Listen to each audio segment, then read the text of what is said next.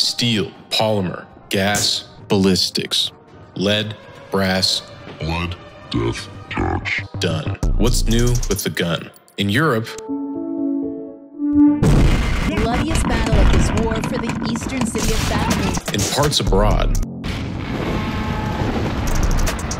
in America,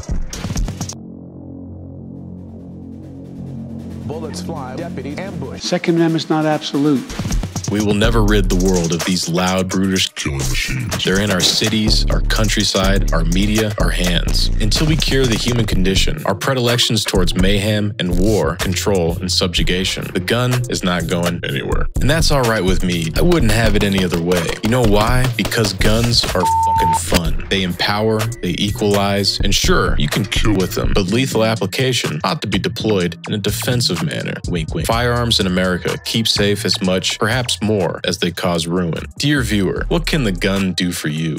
This video is brought to you by KIR Ammo. If you appreciate this video and need more reasonably priced Kablamo feel, hit up KIR Ammo. Use code ATTARSHIPS at checkout to get free shipping on orders $200 and above. Can't afford it? Whatever you order, tell those good old boys at KIR Ammo ATTAR sent you. Debate on the Second Amendment and gun control has not evolved for over a decade. On either side, the rhetoric resorts to the anecdotal, the platitudinous, and the tired, with sound bites filled with childish binary moral assignments like the bad guy with the gun and the good guy with the gun. Who these good or bad guys are is not yet definitive. The Second Amendment crowd beats on their shields as gun control legislation at the state level has expanded under the current administration, and the ATF reliably and unlawfully overregulates with categorical decree. The gun grabbies admonish the powers that be as there's increased sale and ownership of assault style weapons, an increasing number of illegally obtained firearms in inner cities, and this. And wouldn't you know it, the anarchists, Uber lolcows, and Posadists still can't buy grenade launchers or ICBMs off Amazon. That's not what I.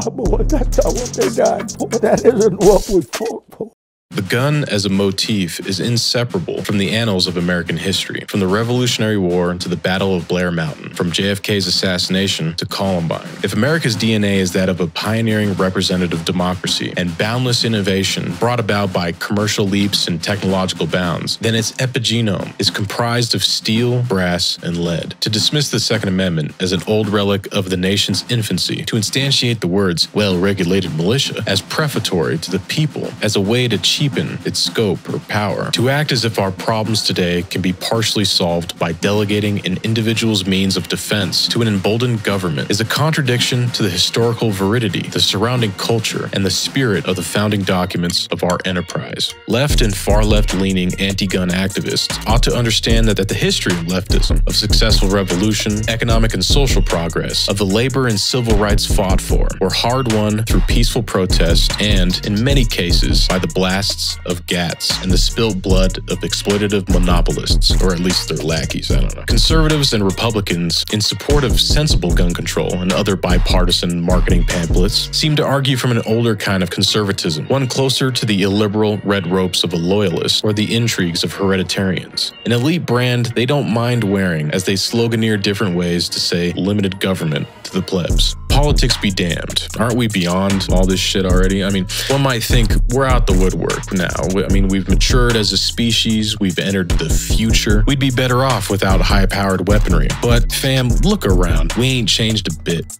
If you ask freedom loving, rapidly individualistic, red blooded Americans why the hell they need 30 plus rounds in the magazines of their assault rifle 15s, most might tell you it's their right, naturally and or constitutionally. If you inquire further, they might respond with an ominous echoing of something like watering the trees of liberty, or gesture towards domestic hate groups that might one day foment terror to achieve their ends. Well, not the, yeah, well, yeah, sure, but the Nazis too. That's what I'm, yeah.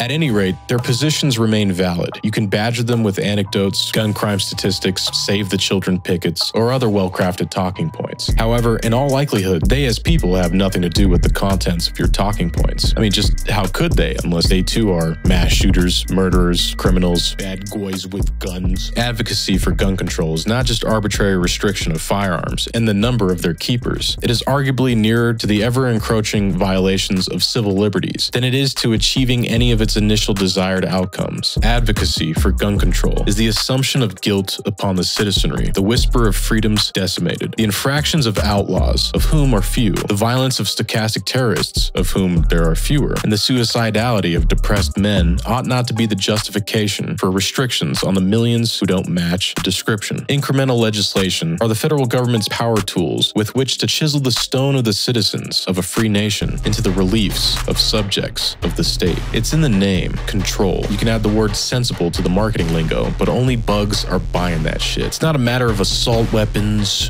or a pistol brace or high capacity magazines. It's the capitulation of the people, bit by bit, further drafting the terms of their surrender with the acknowledgement of their inability to govern themselves. It's another time card punched within the federal panopticon's maniacal watch, the all seeing eye's assumption that the polity cannot be trusted with the means for defense, lethality, and empowerment. To trade for a meaningless affirmation of security, to defer to an authority indifferent to the polity and, and unimpressed by the power of individuals, is not really American. To let managerial liars, professional politicians, use the tragedies suffered by the few to implicate the many in a crime unspecified. Well, that's becoming more American by the day. The threat of mass murder, devious insurrection by gangbangers, and despotism of an unruly, barbarous public, or militias of skinny zoomers high on the new meth, or any terrible end result the war game chamber of the Pentagon have already thought of, is thus attributed to every individual American, regardless of their background, their ownership of firearms, or their propensity to violence and crime. Looking at the debate with this lens ought to challenge the opinions of gun control advocates. Of course, it doesn't, because this kind of perspective doesn't matter to the grabbies. Gun control champions have valid reasons behind their beliefs. They would rather no soul succumb to needless gun violence. They don't want their children, their families, their neighbors to be the victims of an active shooter in the institutions they believe to be safe. They want to limit the damage and casualties of guns when deployed by bad actors who mean others harm. This is all well and good, yet the prerequisites to achieve these goals, or to even approximate them, fall short of effective at almost every juncture. The policies are rooted in reaction. The arguments repeated are simply used as ammunition to politically wound a principled opposition.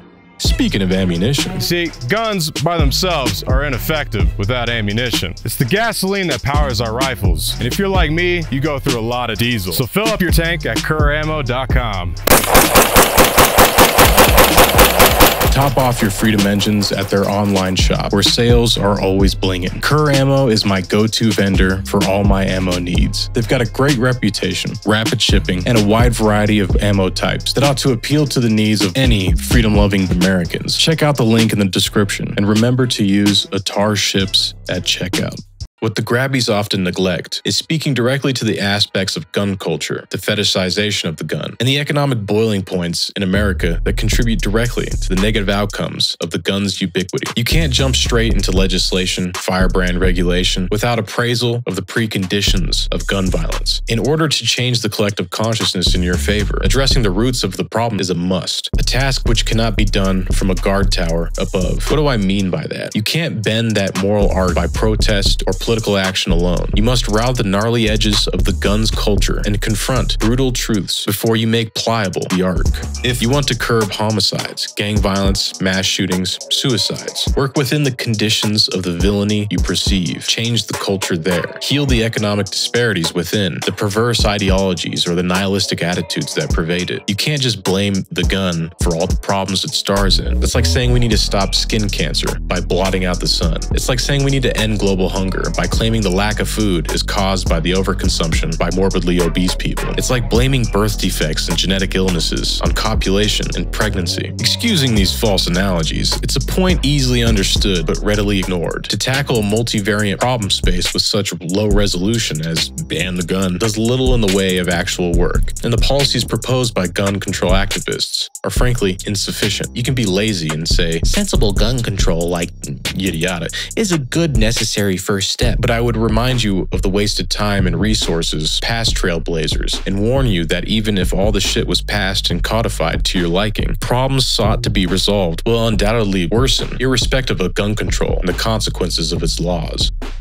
The strongest or the most contentious arguments for the Second Amendment focus on shared principles, historically held and practiced today by the majority of the population. Freedom, the negative liberties of diminution of state authorities, those that tax you, can detain you, might kill you, and would bother your livelihood if you trounced upon them. And the positive liberties of not being made a violated dead bitch by your government or by a would-be attacker. Let's gather the most powerful of these arguments for a moment. Self-defense. Formulated in the Declaration of Independence, natural rights are self-evident, endowed with certain unalienable rights, life, liberty, and the pursuit of happiness. With a right to life, the obvious corollary is the power to defend one's life. The Second Amendment among the Bill of Rights is one of many rights of the individual in relation to the state hunting. The Second Amendment is essentially a license to hunt down and kill government employees, provided they've become tyrannical and are infringing upon the rights of Americans broadly. Defense. The people are synonymous with the militia, which honestly doesn't make sense to me how one would arrive there, but I'm no lawyer. There's the notion of foreign adversaries invading the homeland, but there's no need to delve into that. Contingency. Without the Second Amendment, the other amendments are symbolic and otherwise useless. If we hold in our minds that the conclusions drawn by gun control advocates are all true, then the debate is moot, and everything I've laid out prior to the summary of the Second Amendment arguments still stands. And if you don't believe me, you can rewind and check it out for yourself. Here's the rub though. If we do the same for the Second Amendment and its advocates, it begs the question, what if all the popular arguments for the Second Amendment are true at the same time? Where does the debate even go from here? And is it at all worth engaging it? I'll leave that for the comment section to meet out. If you believe America should sequester its unique place in the world to model itself after a more European way with regard to gun control, or perhaps to even go further and, and resemble that of a security state, oppressive and illiberal, then perhaps you'd enjoy living elsewhere. Or you can try and fate this wonderful experiment that is the American project and dissolve it into a facsimile of another nation's will. But those unthinkable things warned to you by those who respect you enough to check your logic, you know, those unthinkable things strong, authoritarian, unilaterally possessed governments are wont to do after disarming the public. You can't vote your way out from the dissident wall opposed the firing line. You can't demonstrate the liberties you take for granted within a self-serving system of totalizing control. Go ahead, organize a demonstration. Leave nasty voicemails on your senator's call line. Use your vote. Lobby your representatives. Donate away. Will the world in accordance with your ideals. Demand that we be rid of guns and their culture. Those that oppose you might claim you're less of an American for doing so, but the consequences of these idyllic desires and the political actions taken to approximate them may rid the world of America too.